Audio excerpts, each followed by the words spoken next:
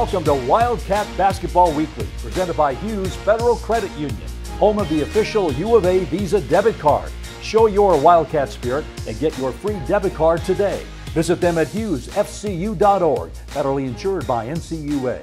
Welcome to another edition of Wildcat Weekly with head coach Sean Miller. Cats are headed to Las Vegas in the Pac 12 tournament starting on Thursday afternoon at the MGM Grand Garden Arena. Before we get to that, Coach, congratulations on a great finish to the regular season. Uh, two outstanding wins over two good basketball teams, and Gabe York, Pac 12 Player of the Week. I, could it have ended any better? No, it couldn't have. Um, you know, our, first of all, our, our, finish against Cal is one of the great finishes that I've been a part of, and you know, obviously Gabe, you know, he, he brought us back from the dead and making uh, what I would consider three just incredibly difficult clutch shots, and and we simultaneous simultaneously with that got big stops. You know, where if they would have scored, even though Gabe hit these miraculous shots, we still wouldn't have won because we were down by as many as eight points under two minutes. But that's why you fight all the way to the end, and, and that's something that I think our team has done a good job of this season. And once in a while, it didn't go our way, but we fought to the end consistently, and it, and it did bounce our way on Thursday, which then fed into Saturday's uh, senior day game, and just again watching Gabe pick up right where he left off, Brian. Uh, you, have seen some great shooters and great players in our program's history, but you know that performance certainly had the rival of the greats. Was one of the best that I've ever seen, and our team deserves a lot of credit as well we played with a lot of confidence and a lot of unselfishness, and Gabe was the beneficiary of that. So your team wins seven of its last nine conference games. You go to the Pac-12 tournament now as defending tournament champions. Where is your team in your mind right now as they head to postseason play?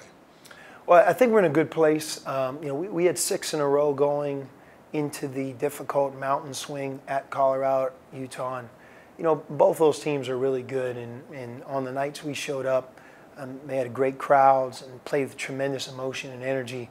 You know, I do think that we, we felt bad about our own standard of play in, in those games, especially defensively.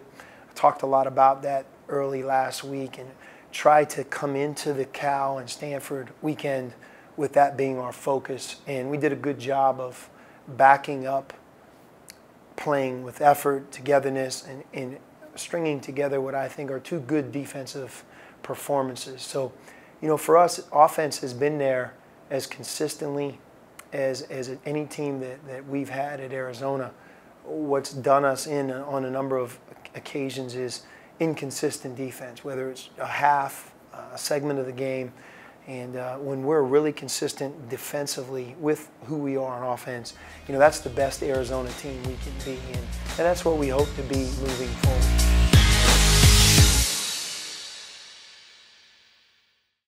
True fans live for their team. They buy the gear, they order the tickets, they pay for the seats and the experiences. For those true U of A fans, thankfully there is Hughes Federal Credit Union, offering the latest payment choices such as U of A debit cards, paying online, paying a friend with pop money, or using Apple Pay with your mobile phone. Show your U of A spirit and put technology and convenience at your fingertips. Hughes Federal Credit Union, smart choice.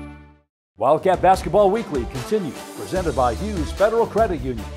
So, if you find that defensive consistency, do you feel confident that this team is built to win three games in three days in Las Vegas? We're capable. You know, I don't know if all 12 teams are, uh, maybe three or four are. I think we're one of them if we're at our best. But the thing about March is the best team doesn't always win, it's who plays the best in that two and a half hour period of time. And so much of saying that comes down to how eager you are to play, how ready you are, how desperately you want to continue your season to move on. That you don't take it for granted, that you don't want it to end, that you want to move towards that next day, that next game. And, and in our case, having a chance to be a part of this year's semifinal round in the Pac 12 tournament would be quite an accomplishment and a thrill in and of itself because of how strong our conference is this year because of the parity we see in college basketball this season, because of the strength of the Pac 12 this season, can playing well, winning the Pac 12 tournament, getting to the final game, etc., uh, change your potential seed in the NCAA tournament? No doubt. And there's going to be teams all across the country because of how well they play in their respective conference tournaments, maybe on the heels of how they finish their regular season, are going to play themselves right into the NCAA tournament. And right now, if our season ended, they would not be in. Or, um, you know, they were a certain seed, but because of how well they play, four games in four days or three games in three days, that they just catapult into a different seed, a different region. And, you know, we want to be on that side. We don't want to be on the other side. And that's really all we can control is our own performance and how ready we are. And whether we play Washington State or Colorado, so much of the success on Thursday will be determined by uh, our effort level and our focus and our preparation long before the game starts.